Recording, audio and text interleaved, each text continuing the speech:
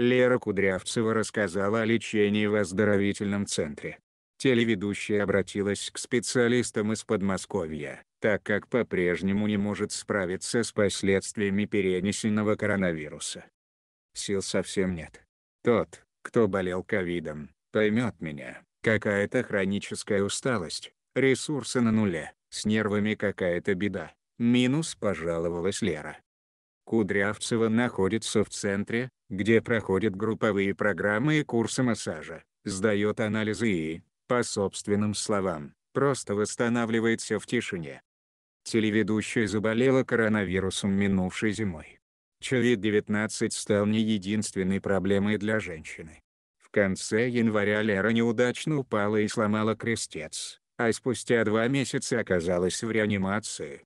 Блондинку госпитализировали со съемок. В больнице врачи выяснили, что резкое ухудшение самочувствия женщины вызвано нагрузками и стрессом.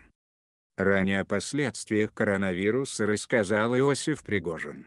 Продюсер, лечившийся от инфекции в ОАЭ, После выписки из больницы не мог подняться на второй этаж из-за кашля и одышки. «Чувствую себя стариком», — минус признавался Иосиф. Еще больше новостей в нашем инстаграм и телеграм-канале собакой смотрим подчеркивание ру.